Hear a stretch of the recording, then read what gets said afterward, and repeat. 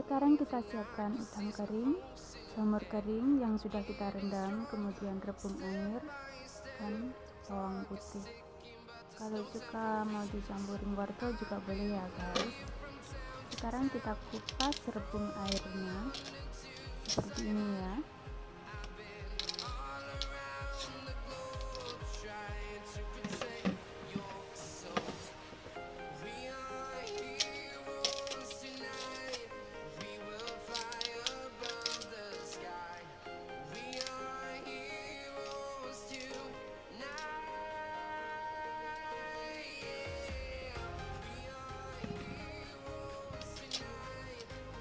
Setelah semua selesai dan kita kupas seperti ini bagian yang tipis.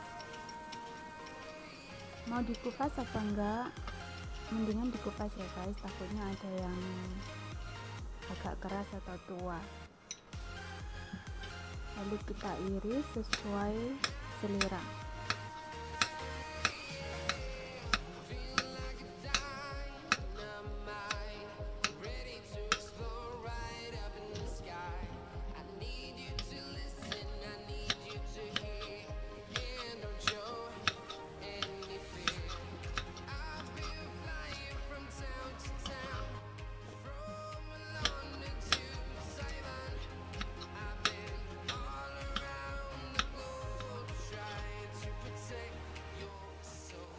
sekarang kita simpan bawang putihnya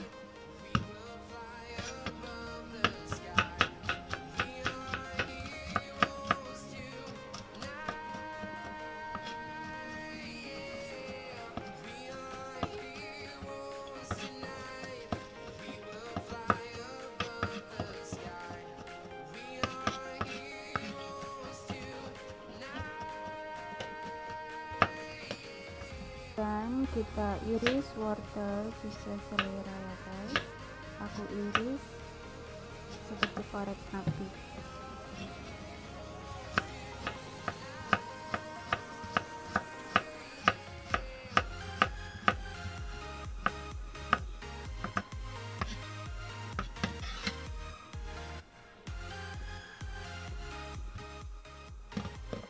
jamur yang sudah kita rendam selama 10 menit lalu kita iris kecil-kecil ya guys. Aku iris memanjang seperti ini. Ingat ya airnya jangan dibuang.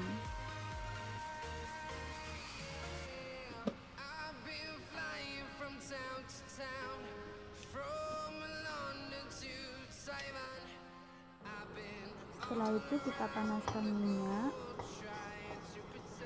kemudian tumis udang kering dan bawang putihnya hingga harum.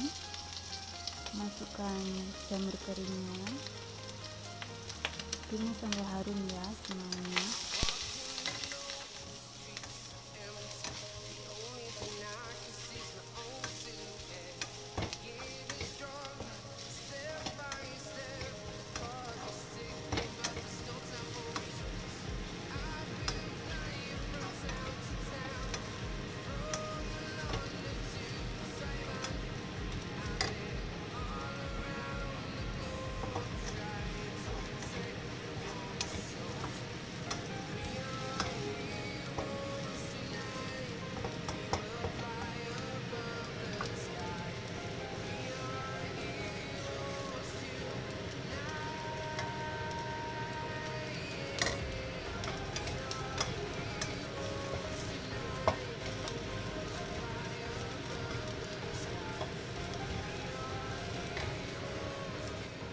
kemudian kita masukkan rebung airnya dan juga wortelnya ya. Kita aduk hingga rata dan melayu.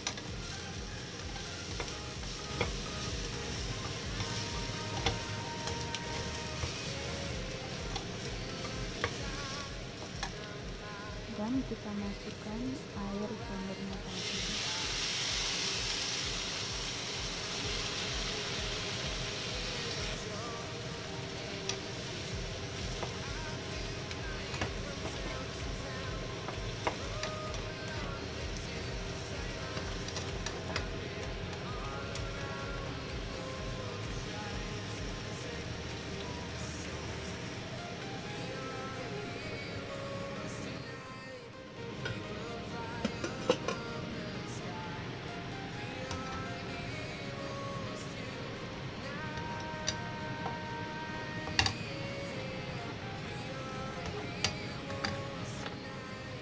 kita masukkan penyedap rasa dan garam.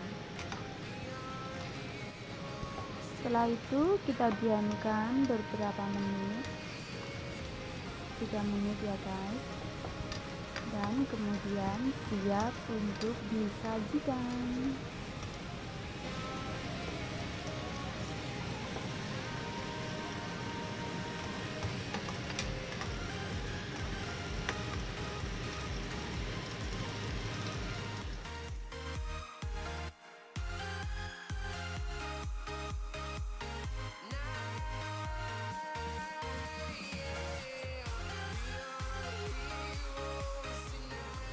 sudah siap guys. Siap untuk disantap ya. Terima kasih yang sudah menyimak video saya. Sampai jumpa di video dan resep berikutnya. Terima kasih. Semoga sehat sukses selalu buat semuanya